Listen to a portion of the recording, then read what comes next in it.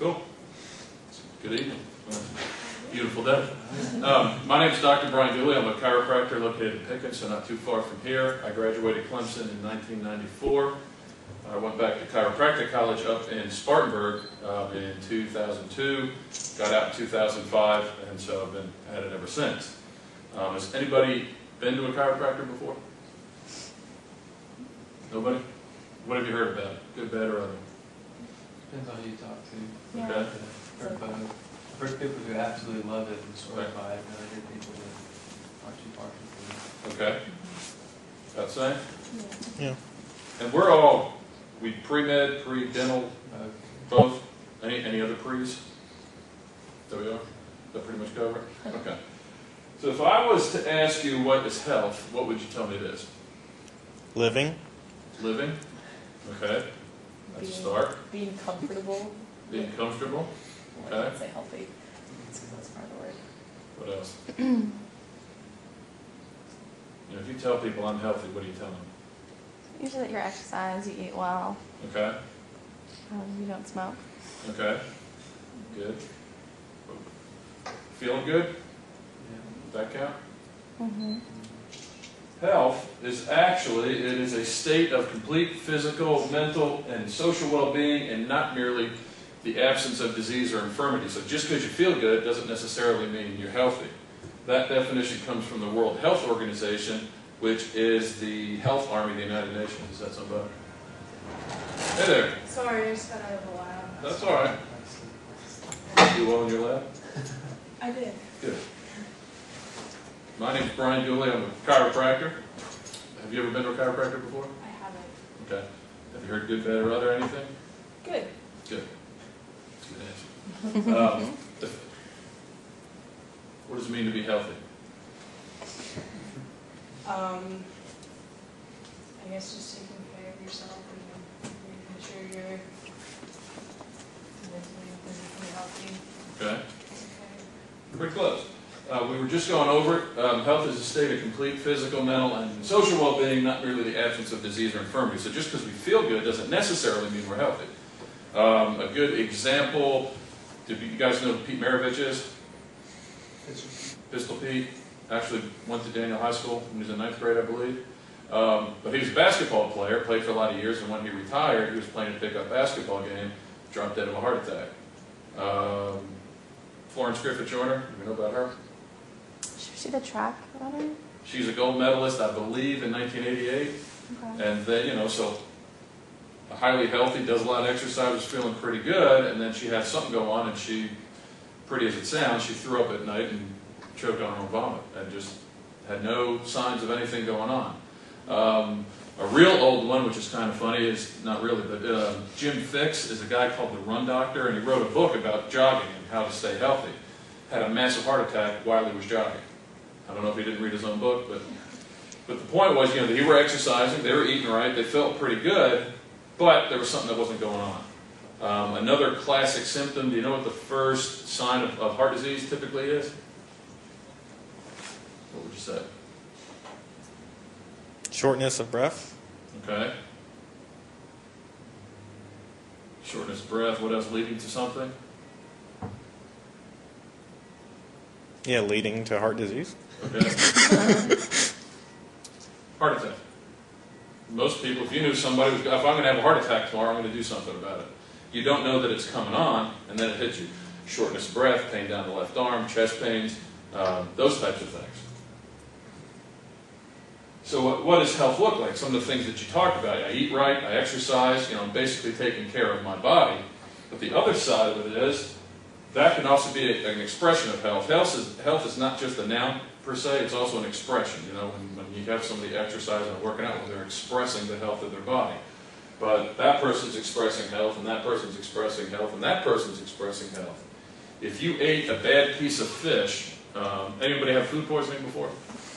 How pleasant was that? That was great, wasn't it? Want to do it again? But if you ate something that was bad, so you had poisoning, right? So you had a toxin that was in your body, and what did your body do to get rid of it? Throw up a lot. There you, yep.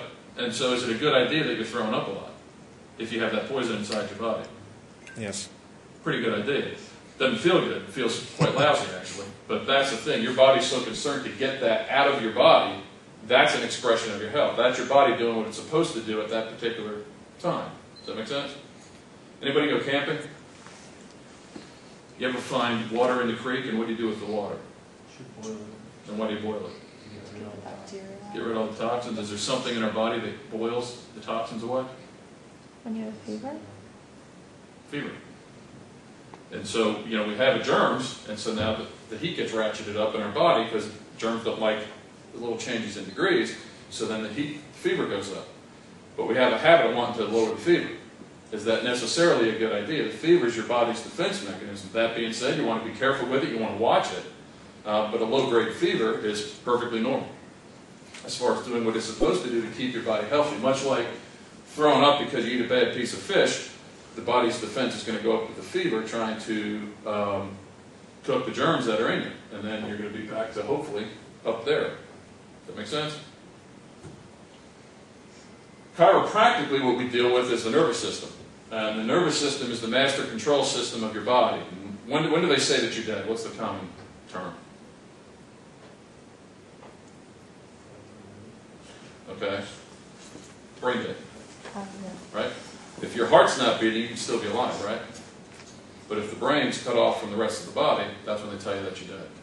And so we all have a brain and a nervous system, but the difference between us and a cadaver is life, nerve energy that's going on in our body. So it's the brain sending the message down to the lungs, to the kidneys, to the pancreas, to your little toe, to every cell of your body. And that's what makes us alive, is, our, is the flow of our nerve energy. Make sense? And if, if something comes up that, that's, you got a question about, just shoot your hand up. So the chiropractic world of health, the big fancy word that we deal with is something called the vertebral subluxation. And I can you, here's the nerve coming out of the spine. Can you see the difference between that one and that one? What does that one look like? Restricted. Which is that? Atrophy. Atrophy is a good word. Restricted, that's a good word. And so it's kind of like putting pressure on a garden hose. You put pressure on a garden hose, right, you're going to get less water flowing through it. You have pressure on a nerve, you're going to get less nerve energy going through it. So the end of that nerve, is that body part going to work better or worse? Right. And it's kind of like turning down a dimmer switch. So you, there's still something going on because if it wasn't working at all, in, in case of paralysis, then it wouldn't work. But you could have something going on to where instead of working at 100%, you're working at maybe 60%. So would you rather be 60% or 100%? 100? So a lack of proper uh, nerve function, that's going to lead, if it's looking worse, you're not going to perform as better, and therefore your expression of health is not going to be as good as it could be. Does that make sense? What is a subluxation? Subluxation has four parts. There's a misalignment of the vertebra between the one above or below it, and it can be any one of the segments of the 24 bones of the spine. It includes a foramen. Um, we know what a foramen is? And so, so now you have a hole where the nerve comes out, and now it's either going to get shorter or it's coming one side or the other, which is what's putting pressure on that nerve. Puts a pressure on the nerve, and that interferes with the mental or your nerve impulse, whatever's coming from the brain or going back up to the brain, so that the brain can run everything. Um, again, think about you stepping on a garden hose. So not as much of a message is getting through, or another way to think about it would be who's ever had a lousy cell phone call where you didn't quite hear what was going on on the other end. Same thing goes on. The body and the brain aren't communicating as well as possible, and therefore the body not going to run as well as it can. Make sense? The definition of chiropractic, we call it LACVS. We want to locate the subluxation, we want to analyze it. So we say, well, here's a part of interference in the body. Does the bone move left? Does it move right? Does it tilt up or down on one side or the other? Does it move forward? Does it move back? Is it fused together? Uh, those types of things you would find out. Um, then we want to correct it with the quick chiropractic adjustment. It's just a quick little thrust and the vertebral subluxation. Um, and that, that's, that's it. So we locate the subluxation, we analyze it, see which one, how we want to adjust it, then we put in the thrust, and then we let the body do its thing. Inborn, innate intelligence of the body. Um, so you got Michael Phelps, he's a good swimmer. But if you look at human beings, do they all basically look the same? Eyes in the same spot, nose in the same spot, ears in the same spot, that type of thing. So for the most part, so would you say, what's the, is it random or might there be an intelligence behind the whole thing? intelligence. Okay? And so, so where do we come from? We come from a sperm and an egg, right? So that sperm and an egg then divides and subdivides and subdivides. So all of a sudden, we've got the trillions of cells that make the human body. If, if there wasn't an intelligence behind it guiding that process, you know, we'd all look all sorts of different, you would think. Um, but there is an intelligence behind it, and there's that process is every process that's going on in your body.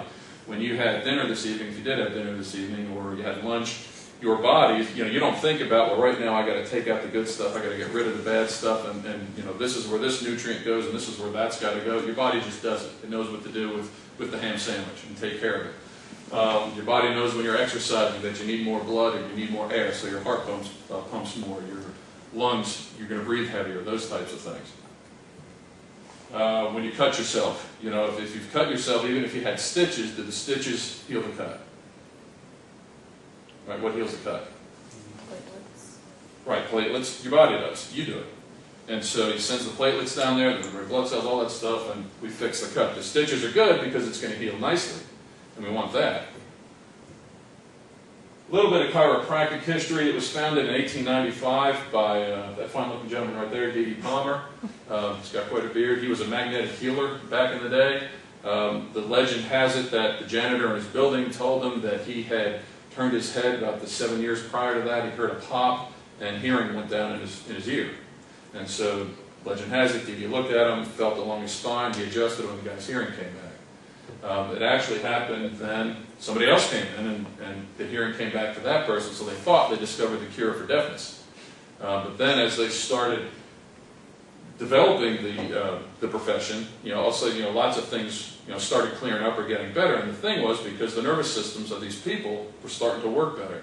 You know, your, your hearing works because you got your auditory nerves, your cochlear nerves, and all those things. They get the signal, the sound, send it to the brain, the brain interprets it, and then you do whatever, you know. Somebody says run fire, well, then all of a sudden your legs are going to start moving because you got that. But if that pathway is narrowed, you know, your hearing's not going to work as well, possibly. Uh, Hippocrates, he talked about get knowledge of the spine, for this is the requisite for many diseases. So even Hippocrates was looking towards the spine way back when, when he was doing his thing. Um, D.D.'s son, B.J. Palmer, he developed chiropractic up until 1961 when he passed away. Uh, he had a clinic where they would adjust people, and they hooked them up to all sorts of tests as far as um, you know measuring you know, blood pressure or whatever you could measure. Um, they would measure every little thing that they could chiropractic today. Um, as far as the profession side of things, um, mean salary for chiropractors is about 100000 according to CNN.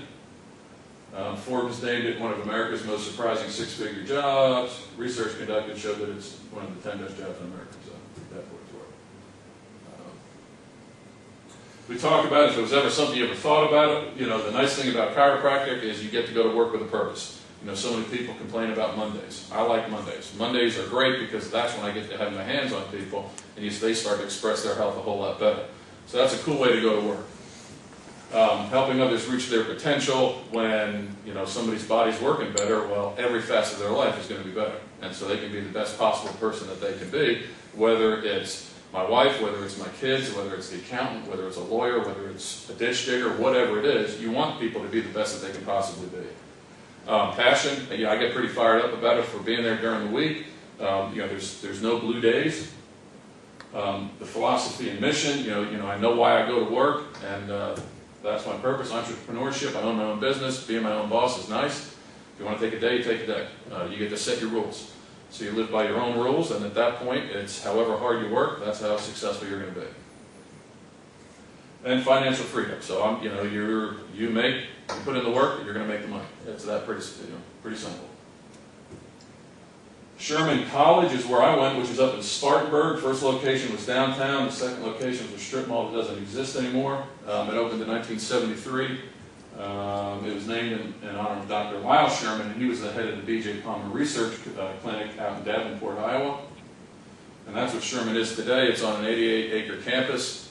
Um, it has its own health center, uh, which is nice. It's, it's real affordable chiropractic care. So there's about, I think at any given time, between three to 400 interns um, that have their own mini practices. So you have your own practice that's there, but you don't have to leave campus to do it.